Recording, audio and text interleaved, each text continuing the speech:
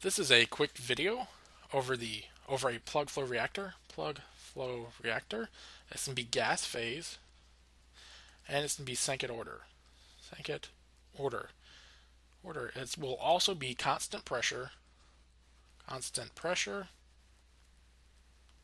and temperature. So that's temperature.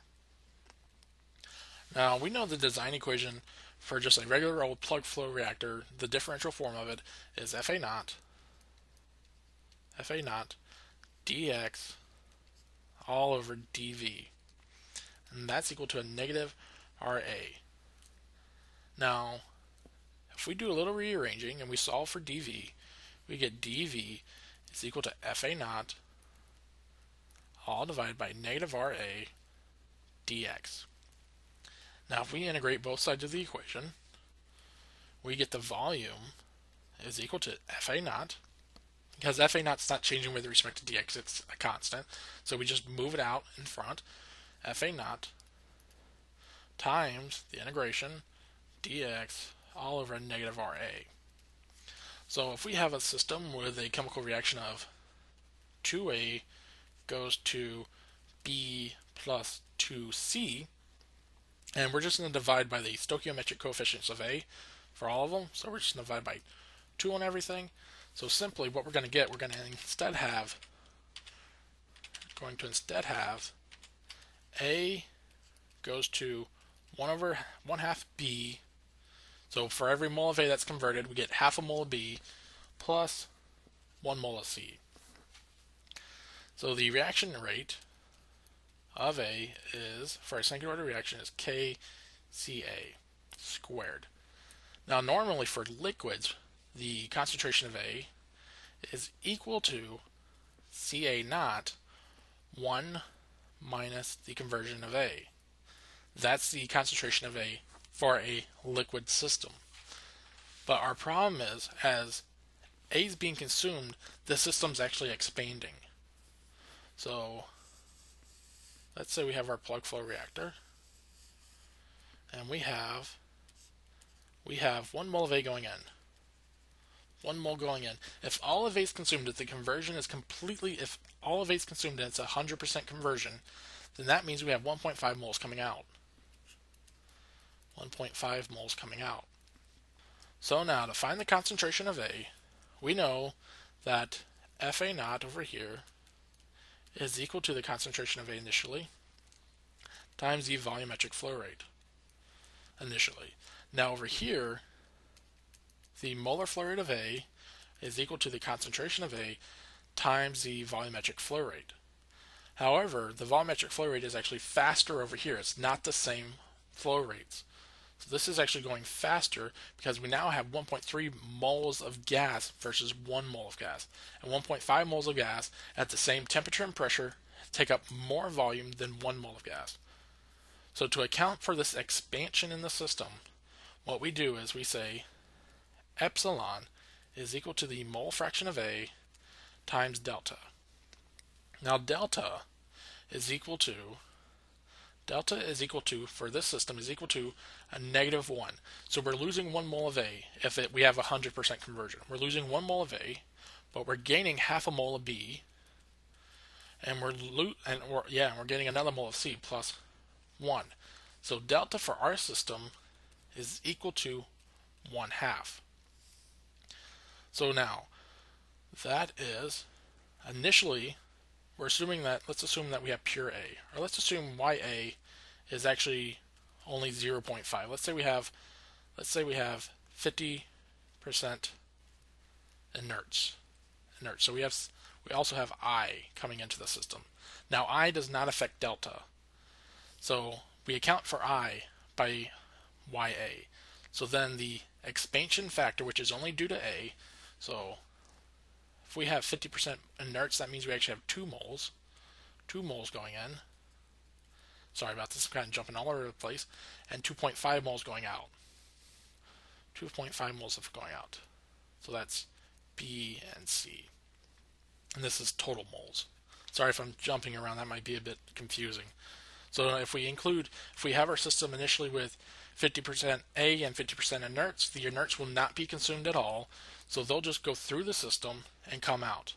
So at the end, we have 1.5 moles of, of B and C plus 1 mole of inert will give us a total of 2.5 moles. So now we have 0.5 times the uh, the delta, which is 1 over 2. So the expansion factor is simply equal to 0.25. So then if we wanted to find the the final velocity, the volumetric flow rate, that is equal to the initial volumetric flow rate times 1 plus epsilon times the conversion. So if we have 100%, 100% conversion, or if we have 0% conversion, then the initial flow rate is equal to the final flow rate, or the final flow rate is equal to the initial flow rate. So that means we only have two moles leaving the system. But if we have 100% conversion, then the the volumetric flow rate out of the system is equal to the initial flow rate times 1 plus 0.25 or 1.25. So for 100% conversion, the volumetric flow rate out of the system is 125% more than the initial volumetric flow rate into the system. But this is an equation that we really care about because we can use this to find the concentration of A, which we can then plug into this equation, which we can then plug into this equation and solve for the volume. So to do all this, let's erase that. To do all this, we know the concentration of A is equal to FA, all divided by the velocity, or the, the volumetric flow rate. Now, now FA is equal to FA naught 1 minus the uh, the conversion of A. So this becomes FA naught 1 minus X, and then we all divide this by this equation we just solved for. So now we have V naught 1 plus 1 plus epsilon x. So now we can plug this equation and for CA in this equation. So if we do that, we get the negative reaction rate of A is equal to K FA naught, and we're just going to divide FA naught by V naught, and really FA naught divided by V naught is simply CA naught. So F A naught divided by V naught is equal to is equal to the concentration of A initially, CA naught. So then this becomes KCA CA naught squared times 1 minus x all divided by 1 plus epsilon x and all these are squared again. That's just because this is CA squared. So we had to square all that. So now we can plug this in for a negative RA. So when we do that, we then get the volume is equal to is equal to F A naught integration dx k c a naught squared squared so this section will be a little bit longer. 1 minus x squared, all divided by 1 plus epsilon x, and that squared. So this is not changing with respect to x, so we can actually move this out here, and we'll then move this one up here. So let's just do that real quick. So now we have the volume is equal to F A naught divided by K C A naught squared times the integration of 1 plus epsilon x squared dx all divided by 1 plus epsilon x, or sorry, 1 minus x squared.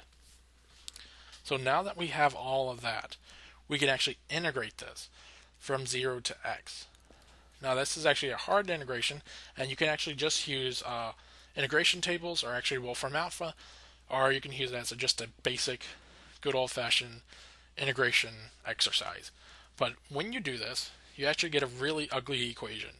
You get the volume of the system is equal to V naught, the volumetric flow rate, divided by K CA naught, CA naught, times